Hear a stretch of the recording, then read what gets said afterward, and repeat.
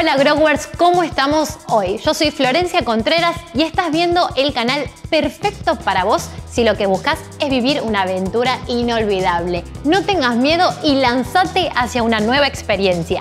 Si tenés planes de estudiar en Norteamérica, seguramente te preguntas cuánto cuesta vivir en Estados Unidos y si tus ahorros alcanzan a cubrir tus gastos. Entonces estás en el lugar indicado, porque hoy te damos una mano con eso y hablaremos sobre el costo de vida en Estados Unidos, incluyendo San Diego, Nueva York y Miami.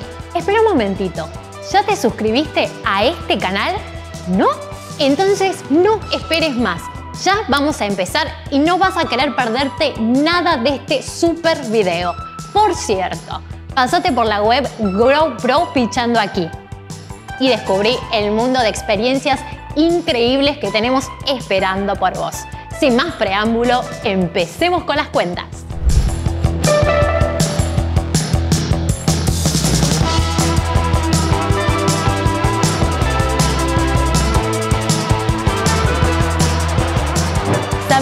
Cuánto cuesta vivir en Estados Unidos puede ser todo un reto.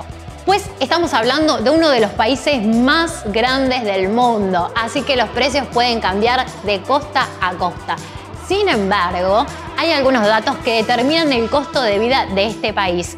Por ejemplo, que es el tercer país con más habitantes del mundo, que es la segunda economía más grande a nivel global y que sus ciudadanos tienen un nivel de vida alto. De hecho, para que empecemos a hablar de cifras, el ingreso per cápita es de 63.543 dólares. Para empezar, sumemos cuál es el costo inicial de vivir en Estados Unidos si llegas desde otro país. Visado, por ejemplo, para estudiar, necesitas la visa F1 que cuesta 200 dólares. Boleto de avión.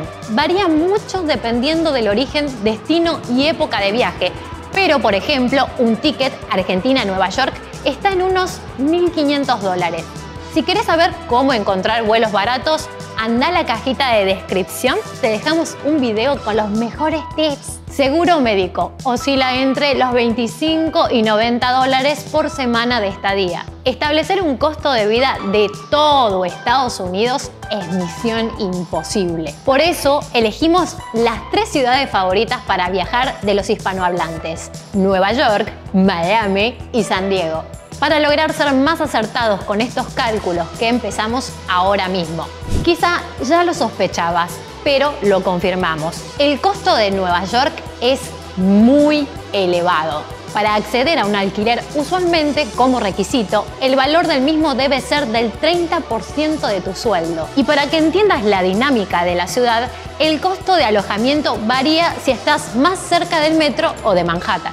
Así las cosas, un apartamento en un barrio clase media te costará entre 1.500 dólares y 2.000 dólares, mientras que una habitación en un piso compartido parte de los 800 dólares. Estos son los precios mensuales de los servicios. En el caso de la electricidad y gas, el costo de alguno de los dos se duplica en invierno dependiendo de cuál se usa para la calefacción. Electricidad y gas 70 dólares, celular desde 35 dólares, internet y televisión 90 dólares. En cuanto a la comida, estos son algunos de los precios aproximados que vas a encontrar en las tiendas.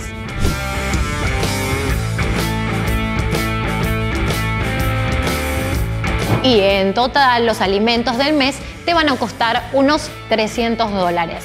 Por otro lado, el transporte de Nueva York cuenta con autobuses, metros, trenes y un tramo aéreo que conecta Manhattan con Roosevelt Island. Para utilizarlo necesitas la MetroCard. El plástico cuesta un dólar. Cada viaje 2,25 dólares y el abono mensual ilimitado 127 dólares. Ahora pasemos a San Diego donde hay rentas más bajas que en el resto de California, que es el estado más caro de Estados Unidos. Un clima amigable y variedad gastronómica especialmente mexicana. Un apartamento en la ciudad puede costar de 1.500 dólares a 3.000 dólares dependiendo de la zona.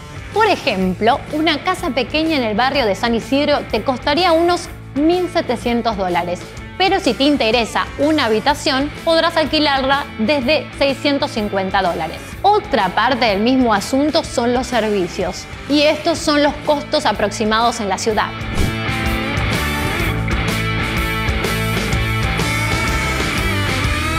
Estos son algunos precios que encontrarás en los supermercados de San Diego.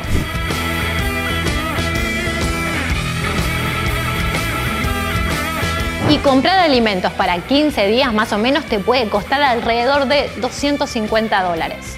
Ahora, la movilidad. El transporte público de San Diego cuenta con un tranvía, un tren, autobuses y ferry.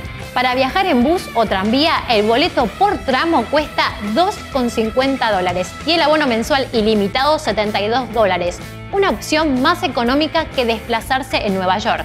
Llegamos a Miami, la ciudad favorita del público latino por el idioma y por el clima. Para que te hagas una idea del costo del alojamiento en Miami, te ponemos sobre la mesa estas tres opciones. Un apartamento pequeño en el centro parte de 1.900 dólares. Fuera del centro está entre 1.300 y 2.400 y una habitación la encontrás entre 500 y 900 dólares. Por cierto, es muy probable que en Miami necesites tener aire acondicionado gran parte del año, por lo que la electricidad es el servicio más elevado, sobre todo en verano. Estos son los precios de los servicios.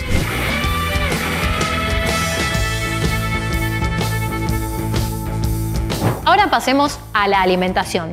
La compra semanal de víveres en Miami cuesta en promedio 120 dólares y estos son los precios con los que te toparás en el supermercado de la ciudad.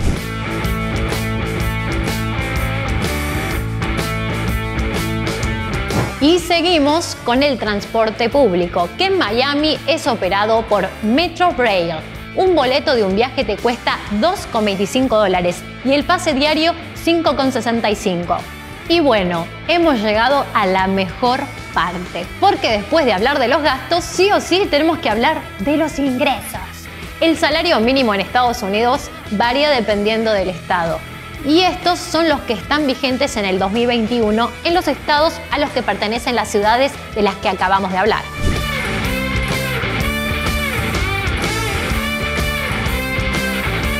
Vivir en Estados Unidos es toda una experiencia. Claro, no es una tarea sencilla, pero te aseguramos que todo el esfuerzo habrá valido la pena una vez que estés aquí y veas las grandes oportunidades que te ofrece este hermoso país.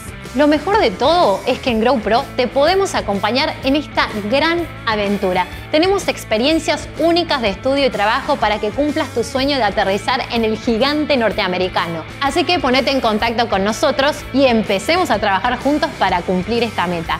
¿Qué te parece la idea? A nosotros nos encanta, pero queremos saber de vos. Anímate a contarnos en los comentarios lo primero que te gustaría hacer una vez que llegues a Estados Unidos y por supuesto si con todos estos números de lo que hablamos hoy ayudamos a organizar más la aventura que vas a iniciar, déjanos un super like. Nos vemos en el país de los 50 estados.